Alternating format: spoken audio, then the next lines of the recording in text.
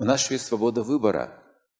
Оказывается, я могу научиться жить, не применяя насилия в этом мире. Представляете, какая наука? Это возможно вообще? Жить, не применяя насилия. Это возможно. Да я же ем, подождите. Ну хорошо, я могу есть растения, я могу стать вегетарианцем, но это тоже насилие, это тоже живое существо. Я иду по дороге, наступаю, там микроорганизмы, там насекомые, я рублю деревья, ну как? Ну невозможно же. Когда я еще был, мне было лет 10-11, увидел, как впервые, ну, забили свинью. Ну, резали ее. Я впервые это увидел, у меня был шок. У меня был такой шок, я пришел к матери и сказал, мама, а почему? Почему убивают животных? Зачем? Она сказала, ну как? Ну, ну мы же должны как-то жить. Это пища, ну, это необходимо. Но он Андрей понимал, ну как-то странно все это. Жутко все это. Не был его детский еще возраст такой, знаете, нежный. Я был потрясен. При этом я увидел, что некоторым это нравится зрелище. М? Восхищаются. По-разному это все описано, эти формы насилия. Для кого-то это как развлечение, значит, быть мужчиной, это уметь убивать, хорошо, давай, бери нож. Ну-ка, давай, ты сможешь? Будешь мужчиной? Для кого-то это так выглядит, для кого-то это трагедия жизни просто. Как можно так жить? Это вопрос развитости сознания, как мы оцениваем ту жизнь, в которой мы находимся. Вот человек рубит голову курицы. Она без головы бегает, он смеется, как весело, а рядом его сын пятилетний плачет, когда это видит. Одна и та же картина. И по-разному ощущается. Кто-то плачет, а кто-то смеется здесь, над одним и тем же. Разные чакры, по-разному люди видят события. Итак, как же жить без насилия? Это искусство жизни великое. Но оно требует времени, выделено на общение. В городе у нас нет возможности общаться с животными. Ну, может быть, только домашние собаки все. В деревнях люди общались с коровами, с лошадьми, с собаками, с кошками, там, не знаю, там, с дикими зверями в лесах. Они знали их повадки, характер, они умели разговаривать с тиграми. Терсузала читали книгу? Я читал. Я жил на Дальнем Востоке. Он разговаривал с тигром, потому что закон Тайги запрещал охотникам убивать тигра. Говорит, если кто-то убьет тигра, он погибнет насильственной смертью. Так и случилось с ним, с Дерсу. Он все-таки убил тигра.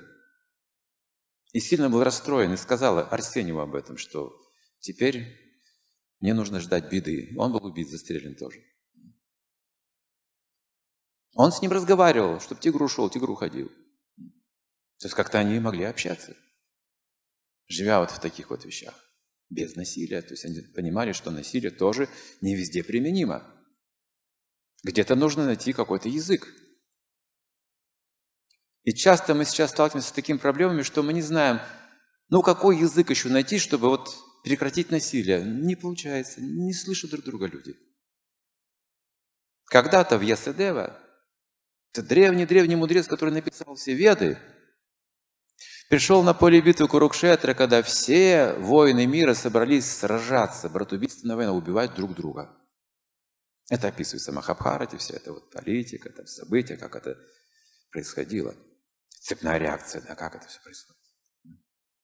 А Весудева, он миротворец, он духовный человек, он пришел, сказал, мы же все братья, это одна семья, вспомните. Но он воззвал, в общем, Возвал из всего сердца, давайте простим все, будем жить в мире. Никто не услышал его. Не та сторона, не другая сторона. Люди были в гневе. Животные боевые чувствовали этот гнев людей, там лошади рыли копытами, слоны уже кричали, уже готовы броситься друг на друга. От человека передавалась вся эта агрессия. Все поле уже гудело, раковину трубили, все бы держались за оружие, ждали последнего слова и команды. Поэтому если этого никто не услышал. А там были великие души. Пишма, Дрона, Карна, Крипа. Там были великие люди, родоначальники, опора цивилизации. Это были не какие-то обычные люди. Великие души все были там, тоже собрались.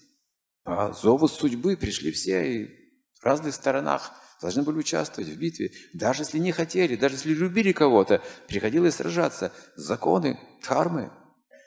Долго. И Вьясадева, предвидя, что чем это все закончится, опустошение будет, он очень расстроенный уходил оттуда в подавленном состоянии. Думал, вот какая могущественная судьба. Даже великая личность, такой как Пишма, не избегает, видите, таких вещей, не может избежать. И ведь он погибнет там. И тут паучок дорогу перебегает. Очень быстро он спешит, знаете, он там спотыкается даже. Так спешит быстро перебести эту дорогу. Йосадева, он мудрец. Он в сознании Турья, хотя и расстроенный, он обращается к нему и говорит, куда ты так спешишь? А Пучок ему отвечает, ты разве не знаешь? Ты же только что увидел. Сейчас начнется битва. И здесь придет колесница боевая Арджуна, тут живого места не останется, тут погибнет столько живых существ. Я спасаю свою жизнь, бегу своей семье.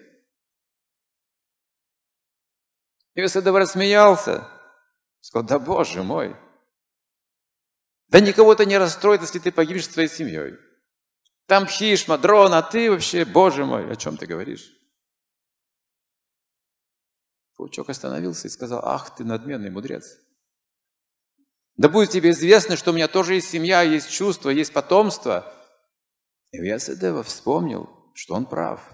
Сказал, прости, прости меня. Ты снова напомнил мне об истине. Нельзя совершить насилие бессмысленно даже пауку.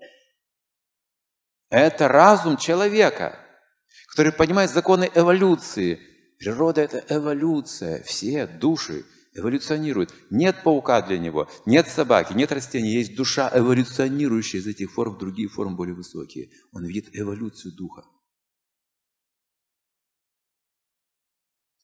Но во время сражения мы забываем об этом. Другие задачи. Такие случаи тоже бывают. Неизбежно это происходит, как пожары в лесу. Карма накапливается. Если мы могли пойти в прошлое и найти главную причину, с чего же все началось? В нашем, так сказать, цивилизованном мире. Откуда началась эта вот вражда человеческая? Ее причина изначальная. Давайте посмотрим в Ведах, что там написано на этот счет.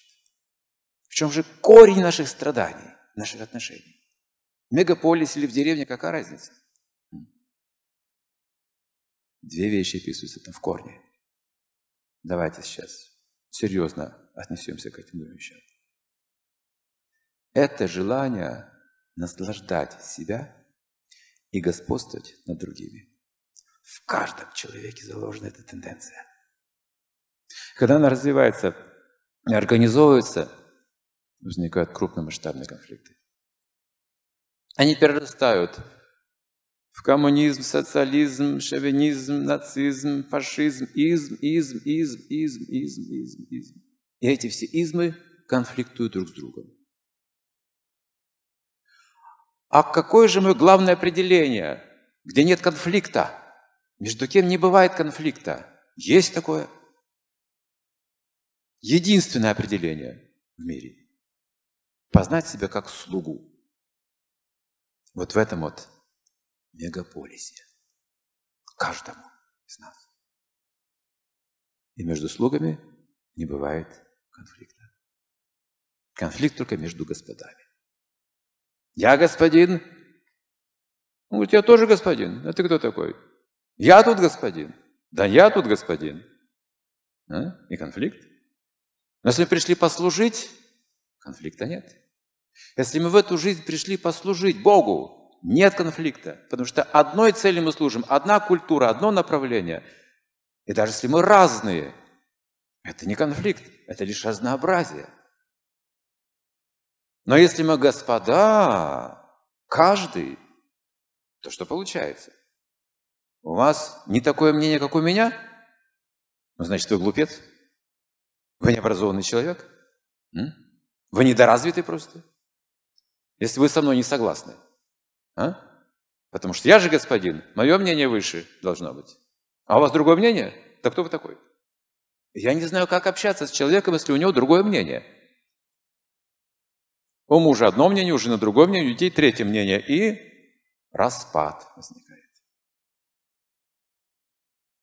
Поэтому главная заповедь – не любовь в семье. Во всяком случае, в Коране я читал это. А забота, служение. А вот через служение вы обретете чувства новые, не господские, а настоящие. Потому что любовь бескорыстна. Если мы хотим просто свое вожделение удовлетворить, это одна культура. Это культура конфликта. Ты удовлетворяешь мое вожделение, я удовлетворю твое вожделение, и мы будем вместе. Пока мы удовлетворяем друг друга чувства. Как только ты мне надоешь, и мои чувства больше не удовлетворяешь, я откажусь от тебя, а я от тебя. Вот и распад.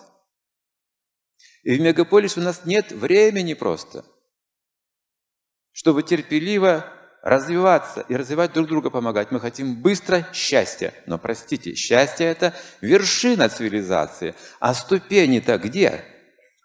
Мы хотим сразу шагнуть наверх, сразу к счастью? Ха-ха. Нет, первая ступень – это пища.